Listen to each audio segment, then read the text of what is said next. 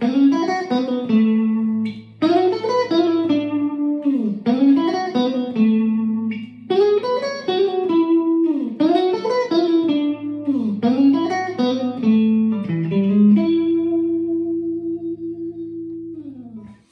this is um, a lesson I've been doing with um, a, a, number of my blues students. Um, so as always, we're outlining these chord shapes and arpeggios of the dominant seven. Uh, working in the key of A today, we're going to be working off this um, A7 chord off the fifth fret low E string, our E form of dominant, A dominant 7. Then we're going to move it up to the 10th fret, which gives us D, which is our 4 chord of the blues. And then we're whole step up from the D, which is the 5 chord, which is E dominant 7.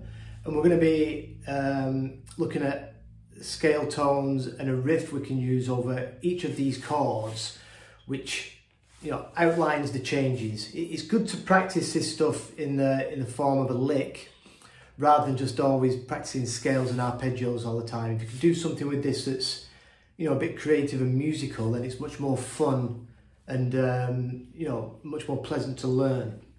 So for the one chord, A dominant seven, this is the lick.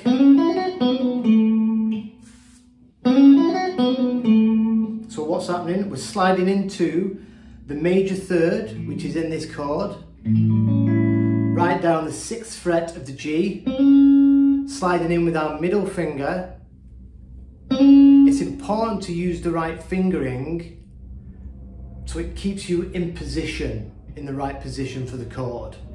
So we're going to slide in from the fifth fret into the sixth, which is minor third to major third. Then we're gonna we're gonna sort of, you know, visualize this triad. So we've got our major triad right there, A major triad. So we're gonna slide into the major third, and then with our first finger, which is right position, we're gonna grab the fifth, which is a five, uh, fifth fret of the B string, which is a fifth degree. Then third finger in position is going to come over to the seventh fret on the B string which is our sixth degree of the scale. We're looking at the uh, Mixolydian scale. One, two, three, four, five, six, flat seven, back to the one. So we're sliding into the major third. Five, six, and then we're going to come up with our first finger, fourth fret on the G, which is our second degree, it's the two.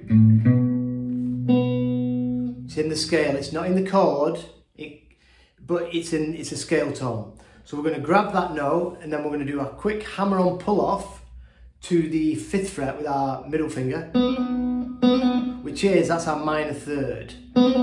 So we're just, you know, creeping into that minor third a little bit. And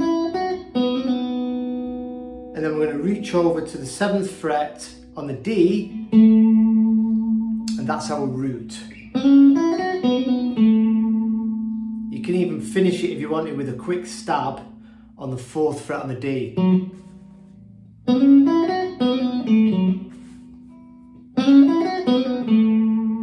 Let's keep it on the root for now.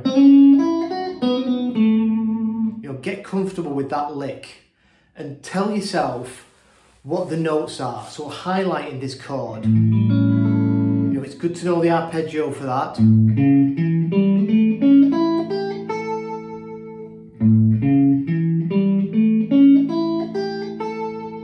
Root, third, fifth, flat seven, root, third, fifth, flat seven, root. The arpeggio always goes in order from whatever note you start on. So again, so from that arpeggio, we're grabbing the major third, the fifth, the sixth is a scale tone, the two is a scale tone, hammering on to the minor third, which is a scale tone, and then a root, which is in chord. So we've highlighted all the notes of the chord except for the flat seven.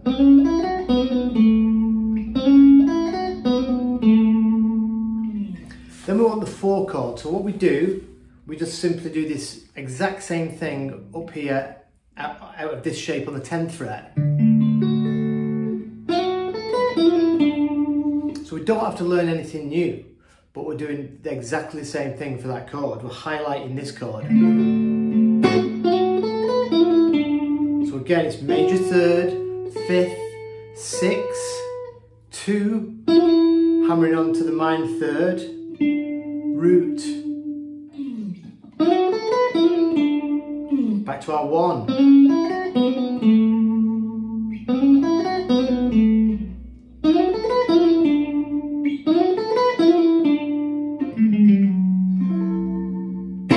Then we want the five chord, so everything we do for the four, we can move up a whole step for the five, that gives us E dominant seven.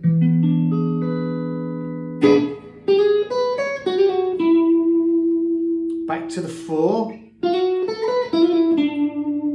Back to the one.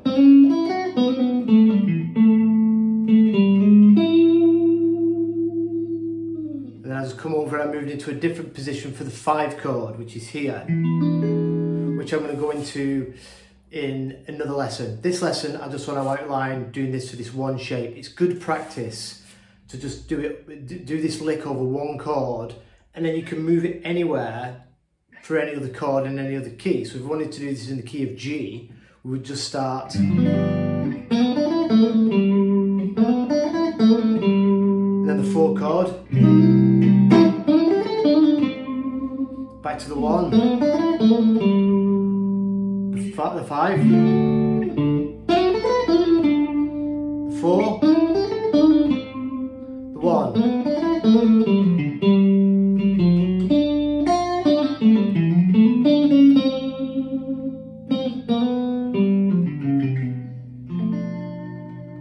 Back to our one. So I'm going to go quickly into where we can do the four chord and the five chord in a, in a different position at a different chord, just quickly. So where we've got the one,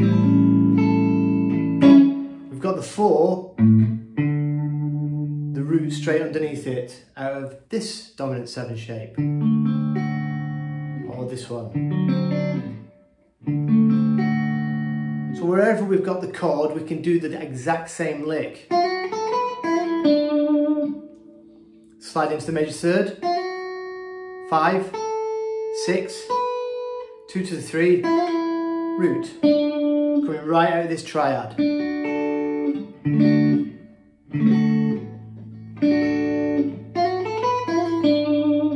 for the five, we just simply move that up a whole step. And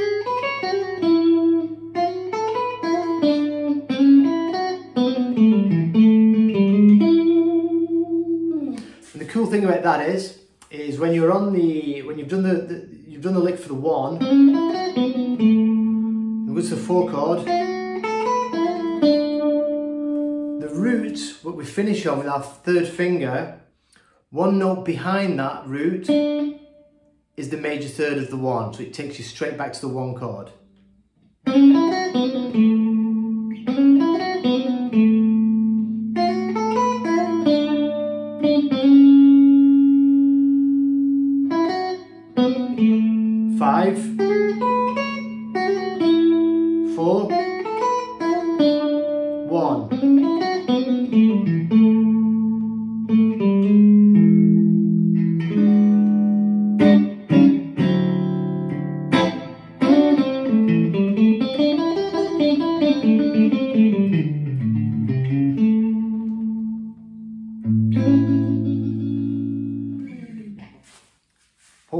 Helps, and I'll see you later.